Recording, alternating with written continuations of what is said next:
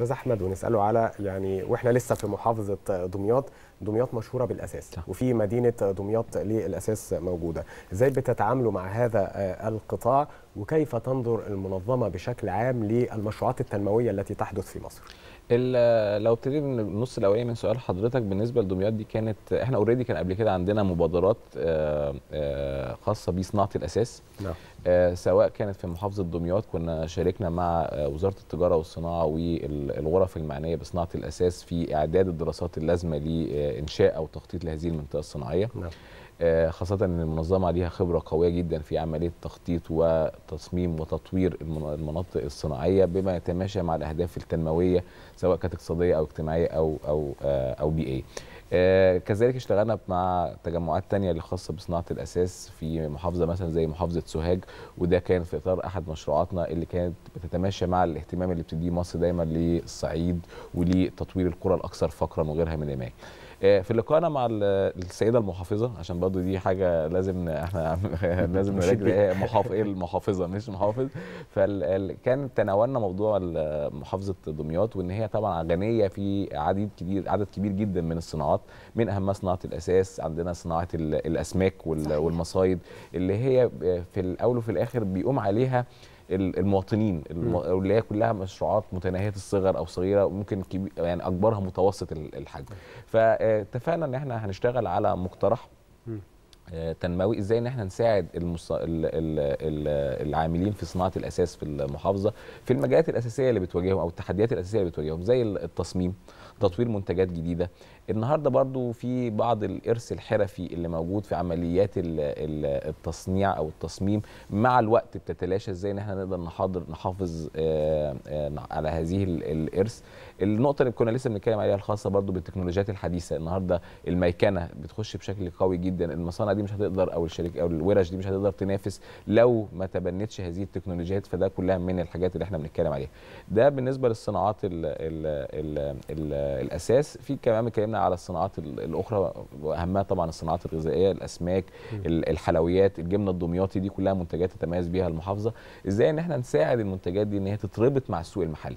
يمكن دايما بيبقى في تركيز إن إحنا نصدر. آه طبعا التصدير حاجة مهمة وده دايما إحنا بندعمها وبنساعد عليها. لكن مش عايزين ننسى إن إحنا سوق 100 مليون أو أكتر. لازم توفير حاجة في بالظبط. السوق المحلي وتكون متنوعة كمان. بالظبط. وفي نفس الوقت إحنا 100 مليون. في عندنا النهارده الكوفيد وبنشوف في تحديات خاصة على المنتجات الغذائية في عملية الاستيراد.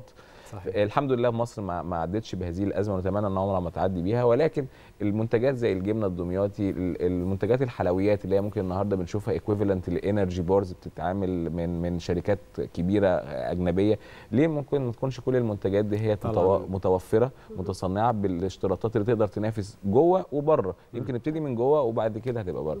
ال ال الشق الثاني بقى أنتوا إزاي بتنظروا للمشروعات التنموية اللي موجودة في مصر واللي أنا فاهمه كده من الج- الكلام كمجمل آه، ان أنتوا تعتبروا شركاء نجاح بالظبط، للدولة المصرية ماشيين في خط متوازي مع خطط وأهداف الدولة. 100% هي حضرتك لو بصيت على دايما على قائمة المشروعات اللي إحنا بنشتغل عليها هتلاقيها ماشية خطوة بخطوة مع, مع الدولة. بتكمل ال- التوجهات بتاع الدولة. يعني لو نتكلم النهارده مثلا على آه، مبادرة حياة كريمة آه، لما نتكلم إن دي مبادرة حياة كريمة النهارده إحنا في جهودنا في مثلا القطن مركزين على القرى التي مشمولة في محافظة آه، آه، حياة كريمة. كذلك عندنا شغل النهارده في صعيد مصر في الأقصر في قنا في الدلتا في المنوفية وال- والغربية في مجالات مختلفة في آه، ليها دعوة مثلا بصناعات زي صناعات ال- اللي بتقوم على المنتجات القصب السكر الس- الس- يعني شاملة السكر الحاجات اللي ليها دعوة بصناعات الطماطم وغيرها من من. المنتجات اللي بتتزرع في المحافظات المشمولة أو المدن أو القرى المشمولة في حياة كريمه إزاي إن إحنا مجهوداتنا هنا تكمل ال- ال- الصورة ديت. لما نتكلم برضو على الاهتمام اللي أولويته مصر ليه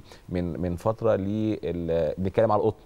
نعم. القطن النهارده بنشوف التطوير اللي بيتعمل في مصانع المحلة في هذه ال- القاعدة الصناعية المجهودات الخاصة بزراعة القطن قصير التيلة بدلا من استيراده في آه، في مناطق آه، آه، صحراوية.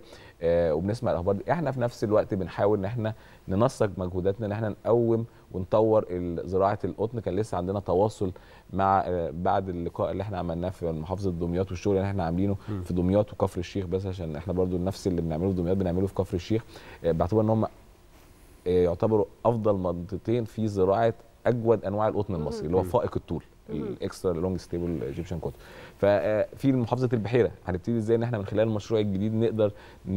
بمجهوداتهم الذاتيه نقدر الثانية اللي قال عليها بالظبط. بالظبط. فهي دايما مجهوداتنا في الطاقة في. الطاقة لما ابتدينا نشتغل من زمان على من خمس ست سنين على ال- إدخال منظومات ترشيد الطاقة في القطاع ال- ال- الصناعي وكنا ساعتها مركزين جدا مع ال ال ال ال ال المشكلة الرئيسية اللي بتواجه الصناعة المصرية أو بتواجه الاقتصاد المصري عموما مصانع كثيفة استخدام الطاقة اللي هي. القطاع الصناعي بيستخدم 30% في منهم حوالي 200 مصنع آه، بيستخدموا آه، أكتر من 70% من استخدام الطاقة في القطاع الصناعي.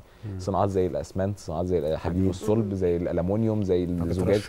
فكنا ابتدينا إن إحنا نركز من هذه أنا عايز أقول لك في آه، مصنع واحد الوفورات اللي قدرنا نحققها معاه من غير تدخلات آه، استثمارية كبيرة آه، حققت الأهداف ال- ال- ال- ال- القومية لل- لل- لل- للمشروع ده الخاصة بالمشروع اللي متصمم ما بين مصر حكومة مصر ومرفق البيئة العالمي.